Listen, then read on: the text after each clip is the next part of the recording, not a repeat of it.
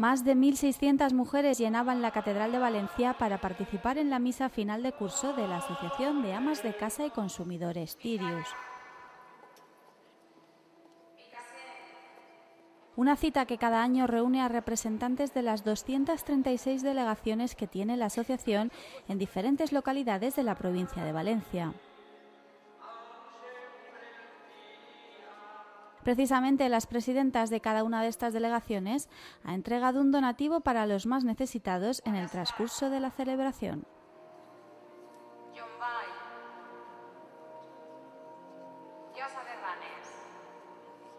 Durante la Eucaristía presidida por Monseñor Carlos Osoro, el prelado ha invitado a todas las asistentes a participar en el itinerario de evangelización que comenzará el próximo año que os metáis en el itinerario de evangelización que vamos a comenzar el año próximo, que sigáis esos grupos y que sigáis metiéndoos más gente.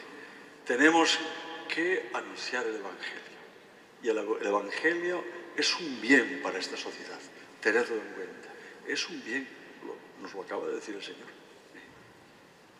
Da un modo de vivir, de pensar y de hacer. Vamos a llevarlo adelante juntos. Además, Monseñor Osoro ha señalado la importancia de esta celebración que cada año llena la catedral. Tiene una importancia porque siendo una asociación civil, sin embargo, eh, vosotras asumís la manera de estar en medio del mundo que nos ha revelado y enseñado nuestro Señor Jesucristo.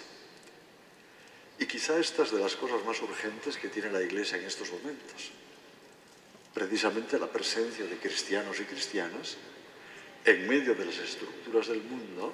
En la misa concelebrada por el vicario episcopal José Ramón Crespo y numerosos sacerdotes ha participado la presidenta de la asociación, Asunción Francés. También ha estado presente la consellera de Bienestar Social, Asunción Sánchez, la secretaria autonómica de Familia y Solidaridad, Lucía Cerón, y la directora de Familia y Mujer, Laura Chorro.